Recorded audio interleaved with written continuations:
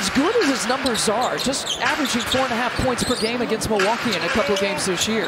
Looks like to keep it that way. That's right. Oh! Giannis in the dunker and take that. Brook Lopez for the first two before the penetration. We go back to the Giannis assist. Well, there's an art to operating out of the dunker. You, you've got to make yourself available. You've got to change positions. Once that ball goes to the right, you see Brook, nice job sliding. Uh, Giannis has had some really big games, most recently against Washington. A 55-pointer stands out to me. Khris Middleton might have a big game here tonight, the way he's starting out.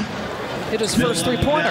Watching him shoot pregame, warm-ups, he hit like about 25 in a row from that very spot. I mean, he get it done scoring in a, in a variety of different ways. It's all about making them work at the defensive end, at their defensive end. Giannis battling for the offensive rebound, puts it back. Uh, got to keep it a mystery. Oh, okay. That's why it's called a mystery. That's why it's called a mystery. There you go. Brook Lopez misses on the three-point attempt. Giannis looks it off. He's a distributor here early and another assist to Brook.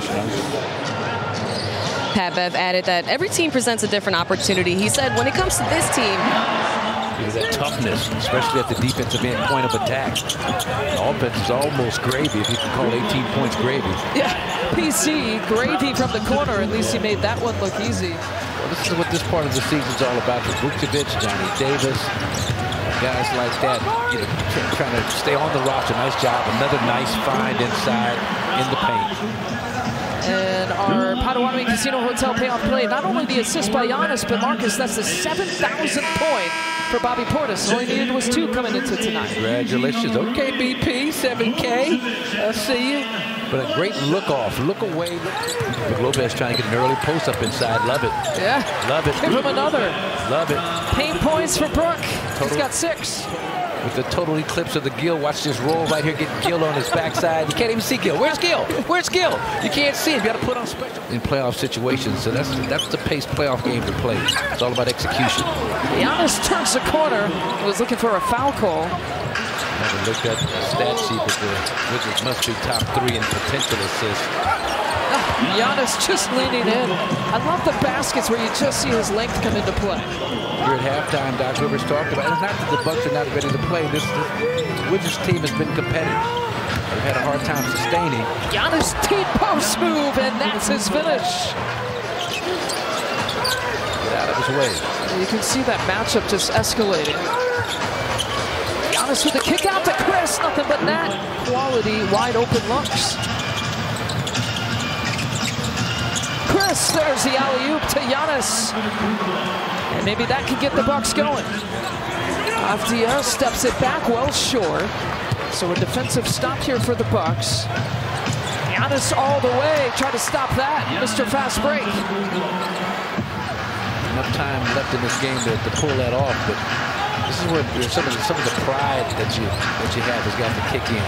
This is where the veteran leadership comes in. If you if you need a team to come back, this is the team to do exactly that. Poole falling on that, that bum wheel that he has already. Giannis with the putback for two. And the Bucks have to burn four point per game average that he's gotten this year against the Bucks. Showing his mobility, his size, his ball handling skills. And to Giannis. It's a breakdown defensively. How, you know, how are you going to leave a guy that, that wide open on Maruyi commands that kind of defensive attention. Up top for PC. Maybe that'll open up the floodgates. Jared Butler with another two. He's got six points in the game.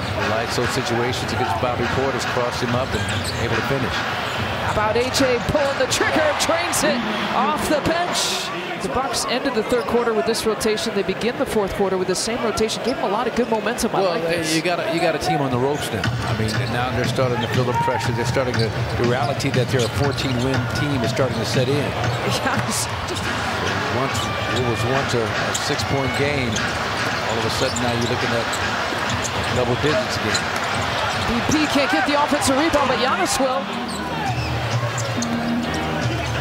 the mark. The Bucks have gone cold from three-point territory once again. Giannis takes a peek at the shot clock. He's going to take this shot. And finger roll finish. You can count it for the Greek Freak. You know, his footwork after the spin, right, left, holds his ground, doesn't travel, and then it's just a nice little flip finger roll. And here comes Giannis, a hop, skip, and a jump, a spin, and in for two, as Giannis can only do. Uh, too easy. Hard drive left, little spin move. Tuesday night basketball from the nation's capital. Giannis sprints right into traffic, and it doesn't matter. Giannis with 33 points.